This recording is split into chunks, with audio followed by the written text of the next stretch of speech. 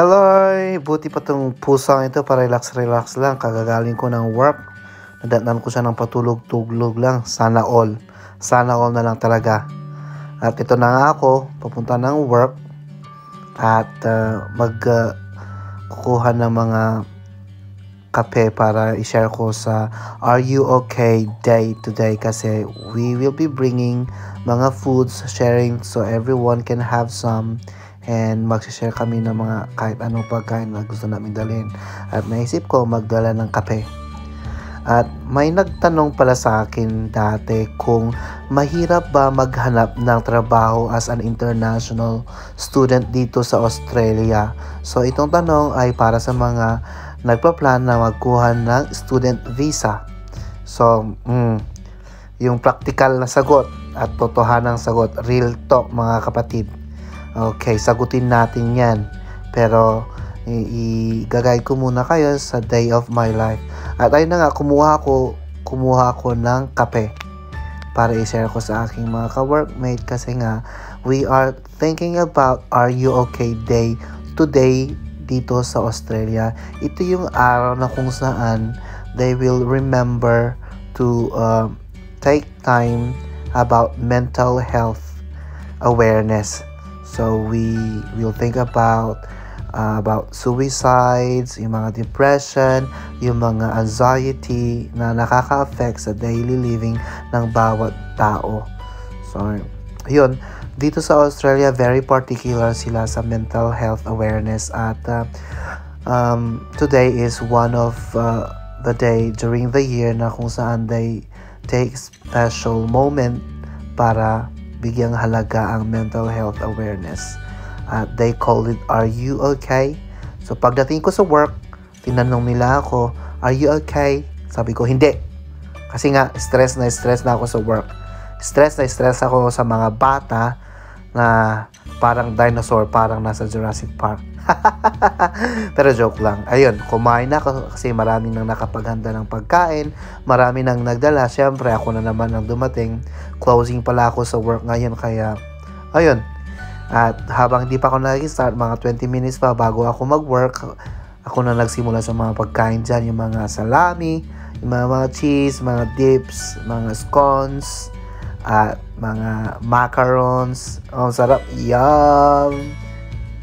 ay pasensya na kung na nahigit kayo pero ngayon lang yan, ngayong araw lang yan pero most of the days nagbabaon kami or nagdo-drive ako ng 3 minutes para pumunta pag kumain ng aking lunch. At natapos ng work ko ng around 6.30 that time at ako na naman ang closing. Nung nag-closing ko, meron naman yung candy van dyan na nagbibenta ng donuts. Siyempre, napabili na naman ako ng donuts dyan. At sa kabila, may mga barbecue shop pero kasi magfi-fishing kami kinabukasan, nagpunta ako dito sa JB Hi-Fi. Yung JB Hi-Fi is yung bilihan ng mga gadget kung saan nakakabili ka ng mga phone, computers, yung mga accessories, appliances, kumbaga sa SM department store or anyway, this is a very specific area for gadgets and any technologies. Meron din yung mga appliances uh, shops like uh, Harvey Norman or mga good guys. Ayun. Pero ito, ito yung very specific na more on technology talaga yung mga phones at saka yung mga, tinan nyo, yung mga ring light, yung mga microphone. Nag-iisip ako para kumuha ng mga mic pero na, nagsadya talaga ako dito para kumuha ng um, battery. Yung pagcha-charge ng battery, power bank pala ang tawag doon power bank. Pero nagtitingin-tingin ako ng mga ibang accessory kasi alam mo na nagmamagaling tayo mag-vlog para naman para maging successful. Baka mag-earn tayo dito sa video na to. Kaya ishare nyo naman. Pero na-stop ako dito sa mga coffee machine. Sobrang gusto ko talaga ng mga coffee machine dito kasi I think affordable. Kayang bilhin ng ano with the salary. Pero meron na ako niyan. Ito, meron ako niyan pero gusto yung medyo mag-upgrade na. Kasi magto 2 years na yung coffee machine ko. Diyan ba sa Pinas, ano yung coffee machine na madalas ginagamit sa bahay? Mm, pero namimiss ko pa rin yung traditional style na pinuboy mo lang yung kapeng barako at saka ni-strain mo lang. Okay, so mga mag, mahiling magkape dyan, anong mas maganda? DeLonghi coffee machine or yung Breville coffee machine? What I have now is yung Breville coffee machine. Yun, nagtingin lang ako, nakabili na ng power bank. Nakauwi na rin at ay, pagod na pagod na ako. Na-stress na naman, oy. Kaya ayun, naghiga-higa muna ako pero dumating yung mga aso.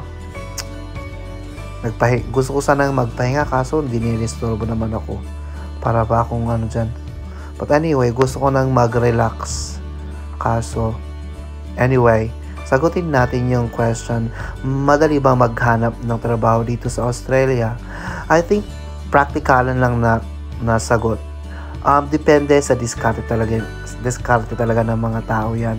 Diskarte kung paano ka maghanap ng trabaho, maraming paraan para makapaghanap ng trabaho. I think it's best to first find connections, may kakilala kasi very important dito yung referral. Very important dito na may kakilala ka para mas madila, mas madali na may refer ka sa mga job opportunities.